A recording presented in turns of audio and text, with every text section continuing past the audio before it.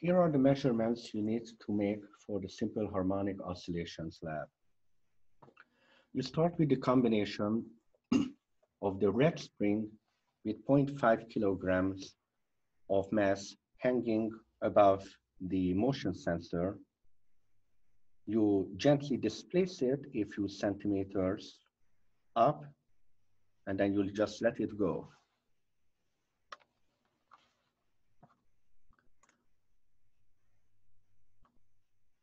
Under the capstone software, you can now start your recording.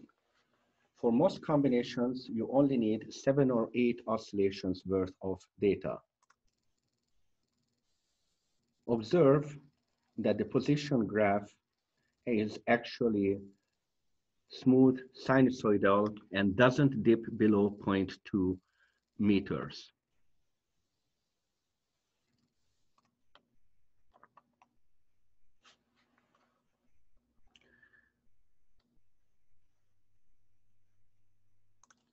Then you repeat with the red spring 0.7 kilogram by adding the extra 0.2 kilograms. This might be a little bit trickier because of the slanted nature of the 0.5 kilograms now. Still gently displace it straight upward a few centimeters and let it go.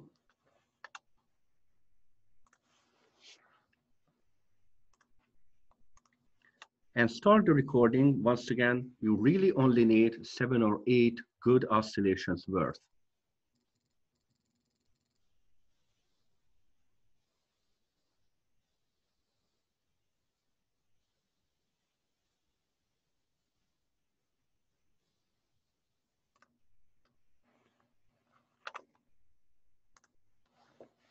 You then switch over to the yellow spring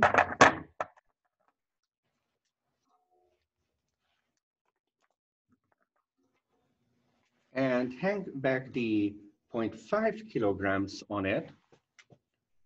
Gently displace it upward and let it start oscillating.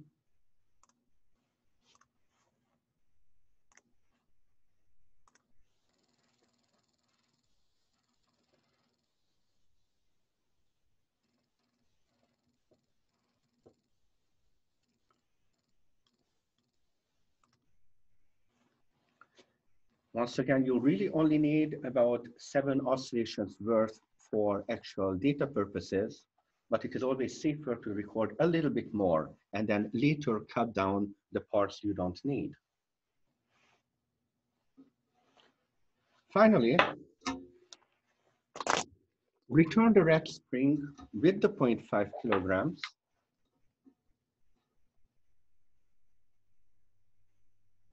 start the oscillation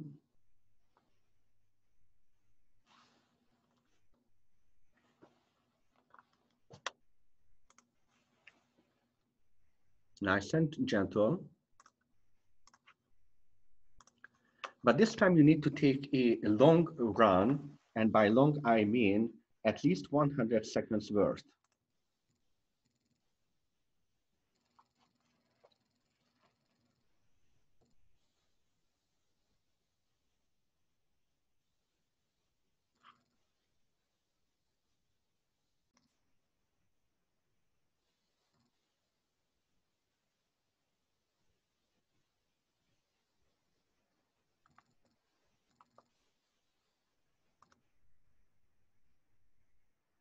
You can check whether the long run, the one that should show the light damping effect is correct by expanding the graph. If you did it correctly, then the maxima and minima should be converging smoothly or relatively smoothly and symmetrically towards the equilibrium point on both sides.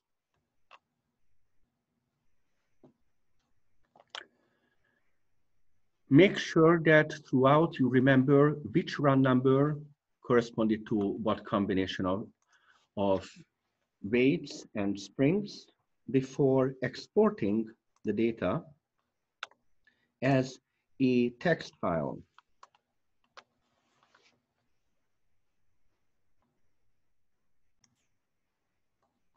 You may even include the name, in the name of the file, the code for the different runs. In my case, R1 is run one and lowercase r5 corresponds to a combination of red spring and 0.5 kilograms, run two is red spring 0.7 kilograms, and so forth in the